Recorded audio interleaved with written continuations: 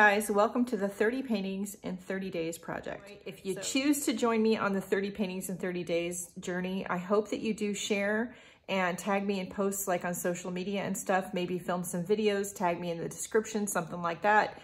Um, I am um,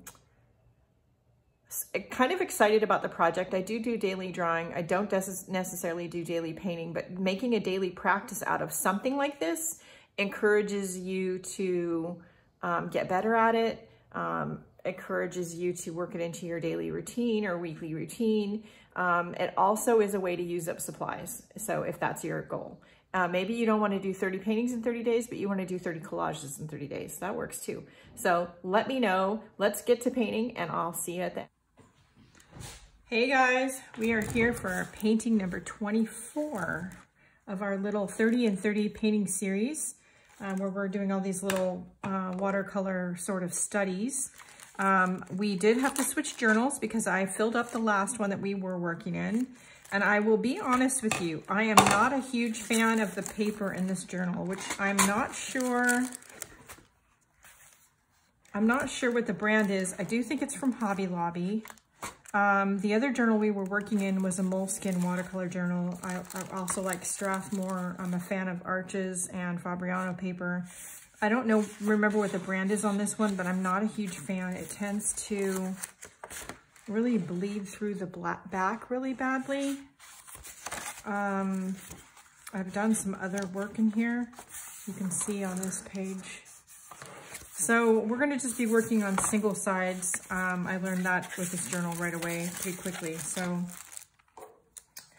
um, and I'm probably not going to tape off any edges because um, I really just want to use up the paper in this journal because again, not a fan. So there we go. All my disclaimers are said and done. Um, I've got all my brushes out. I've got some clean water. I switched paint palettes. So this is one of my bigger palettes and this is my Schmincke palette. I have this year been doing a um, project um, inspired by the beauty YouTubers that do Project Pan, trying to use up some of their makeup and try things that are just sitting that they haven't tried yet to see if they even like them. Um, and I figure, you know, art artists and um, people who have tons of art supplies, we kind of need to do the same thing. So I have this Schmincke palette. I do love it. I just don't use it very much because I have lots of other watercolor paint. And I'm a huge Daniel Smith fan. Although this palette is great and they're fabulous colors, I really, really love my Daniel Smith colors. But I have it. I should use it. It was expensive, so yeah. All right, I also have a inspiration uh, photo page turned in my book over there. I think the images are from either a magazine page or wrapping paper or something. And they're sort of illustratorly versions of poppies, which just inspired me to maybe do some poppy flowers. So I'm gonna get my brush I usually start with, the half inch flat Princeton Neptune brush, which I love.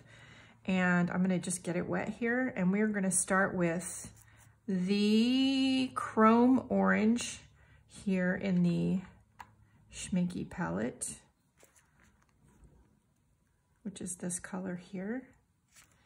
And I'm gonna just kind of map out some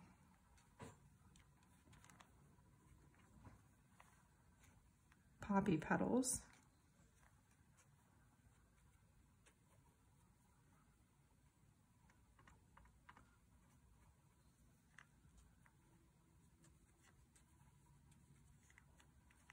I'm suggesting a poppy. I'm not trying to be realistic about it. And the page that I have turned to, it has these illustratorly flowers that remind me of a poppy, but they are not poppies. So we are just being um, expressive and we're taking inspiration from and we are trying new things, which is what this is all about. And I'm just using my brush, I'm putting it flat on the paper and then I'm just kind of turning it to do sort of a petally shape, seeing what I get. Of course, I'm starting light. We'll work our way darker. Um, although I live in Oregon now, I am a California native for those that don't know.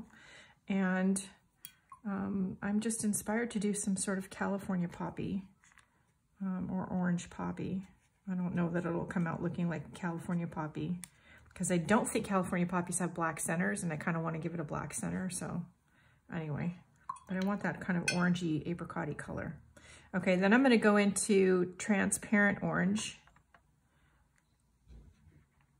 And I'm gonna add a little bit of that to the petals um, and use it as my shadow color, really getting the edges, getting the center where the center of the flower is and the petals would be curling in so it would be a little bit darker to the viewer.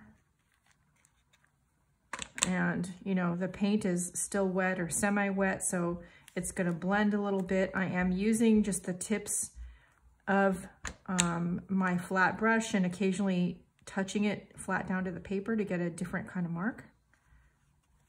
And it's just really all about playing with the mark making, getting used to working with your brush, whichever one you're choosing to do this with. Something like that. I like that. Um, there is a Payne's Gray in here, one, two, three, four, which is a dark blue gray, one of my favorite colors. There we go. So we're gonna put that here.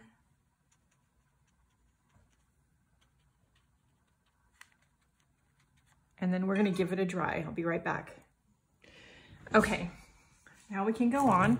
I, I wanna admit to you something. So when you're doing a painting and even though you kind of know in the back of your mind it's not really done yet, but you really like where it is at, stop and take a picture um, I um, just did that with this. I could really, really, although I, despite the fact that I don't like the paper, and you can tell it's just doing funky things already on the back, um, I could see me using this as inspiration or taking this, having my daughter help me take this exact image and put making stickers out of it or background paper or fabric or something else, um, just as it is without adding anything else. So I did stop and take a photo, so there's a hint or tip for you.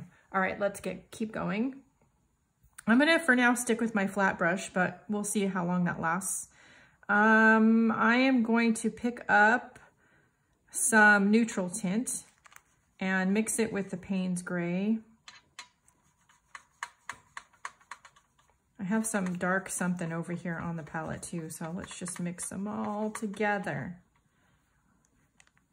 And let's just tap the edges of the brush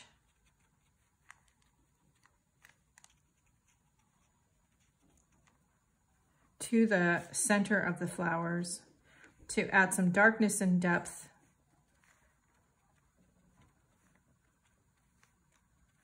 to what's going on. Okay, while that dries, we're gonna grab a green and I'm gonna grab, okay, sorry, there was suddenly noise in the background. It's children outside playing.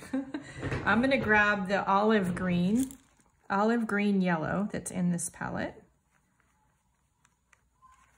And we are going to just suggest some, some greenery. Again, I'm, so I'm just, I push, touch the brush to the paper, push it down, and then just twist it around. Then I'm gonna rinse it off. I'm going to get some water. And again, this paper, this paper must have a lot of cotton or something in it. It just really, really absorbs the paint super, super quickly. And I kind of don't always have time to move things around the way I want because of what it's doing with the paint. It's a challenge to work with, but you know, this is a good um, illustration of why you should do some of these little studies. You don't have to do 30 of them in 30 days, but these kind of studies are a great idea when you're trying new paint, new paper, new brushes, just to get used to the supplies that you have. Okay, I am going to now go in with, we're gonna let those greenery suggestions dry. And I'm going to go in with, ooh, what color do I want to go with? Uh, maybe ultraviolet, which is a purple. I've got one of my smaller round brushes. This is the round number one. And I'm gonna go into these flower centers. It needs a little more water.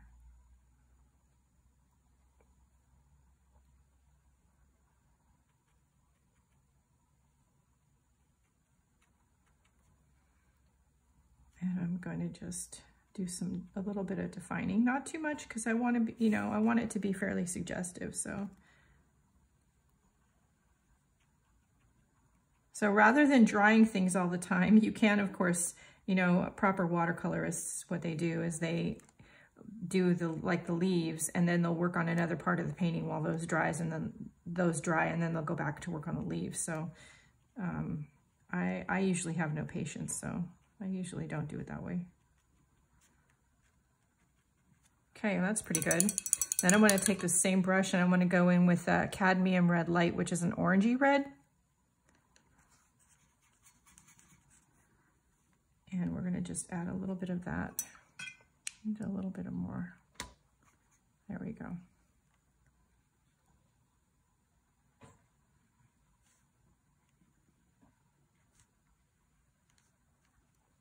And we're gonna, again, we're just defining some shapes. Not all of them. We're, I like to be more of a suggestive painter, so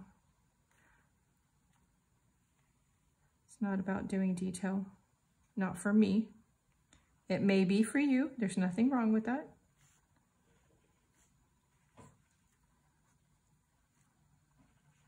So I'm just, I'm uh, again, as I've stated in other videos, I'm barely touching the brush to the paper, just using the very tip of it